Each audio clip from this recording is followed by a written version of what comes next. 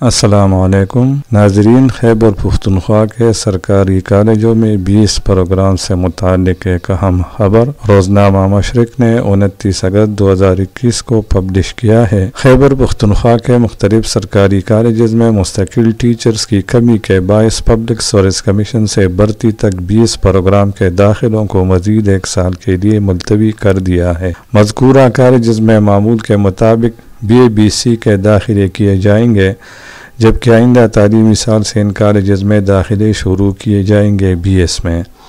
Was रहे कि higher education department की जानब से तमाम सरकारी कॉलेज़ में बी ए बी सी की बजाय बीस के कोर्सेज शुरू करने का फैसला किया गया था। इस सिलसिले में बाद अजला में आर्जी बुनियादों पर टीचर को भर्ती किया गया था। लेकिन बहुत से कॉलेज में फ़ैकल्टी मम्बरान की कमी थी, जिसकी वजह से गुज्त दो सालों से ये दाखिले मुलतवी किए जा रहे थे। इस मकसद के लिए रवा तालीमी साल भी तमाम कॉलेज में बीस प्रोग्राम शुरू करने की मनसूबाबंदी थी, जिसके लिए कॉलेज में दाखिलों के लिए अहकाम जारी किए गए थे।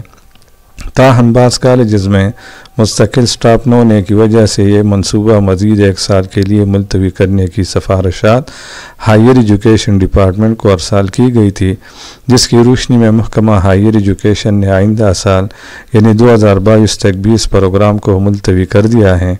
इस बारे में नोटिफिकेशन के मुताबिक पब्लिक सर्विस कमीशन से टीचर की मुस्तकिल भर्ती के बाद कॉलेज में बीस दाखिल बीस में दाखिलों का आगाज़ किया जाएगा। आइए तो ठीक है कि इस साल भी बास कॉलेजों में बीस प्रोग्राम को मुलतवी किया गया, लेकिन उन्होंने बी ए बी सी के दाखिलों का ज़िक्र किया है। तो बी ए बी सी के दाखिले पिछले साल से ख़त्म किए गए हैं। जिन कॉलेजों में बी एस नहीं है तो उसमें ए डी प्रोग्राम शुरू किया गया है। इसी से डिग्री प्रोग्राम। लिहाजा तलबा इससे दो का नकाए। कि बी ए बी सी में हमें दाखिले नहीं मिलते। बी ए बी सी में दाखिले पिछले साल ख़त्म किए गए हैं। और अगर कोई अब बी एस नहीं करना चाहता तो A D N U C से दो साल डिग्री में दाखिले ले सकते हैं।